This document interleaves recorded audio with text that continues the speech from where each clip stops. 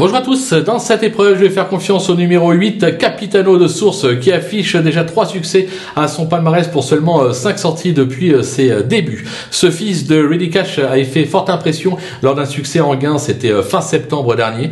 Cette saison, il a effectué une entrée gagnante sur la piste de Toulouse avant de se classer 5e à Vincennes. Eric Raffin le connaît bien, il trouve ici l'occasion de renouer avec le succès. Je vais lui opposer le numéro 6, Captain de Liamon, qui vient de faire grosse impression lui aussi lors d'un succès sur l'hippodrome de Lyon-Paris. Ce fils de Fast Time Bourbon euh, possède vitesse et tenue, pratiquement irréprochable depuis euh, ses débuts. Il doit pouvoir de nouveau jouer euh, les tout premiers rôles ici. Maintenant, c'est à vous de jouer. Surtout, n'oubliez pas de liker, de vous abonner à la chaîne et on se donne rendez-vous dès demain pour de nouveaux et Côte.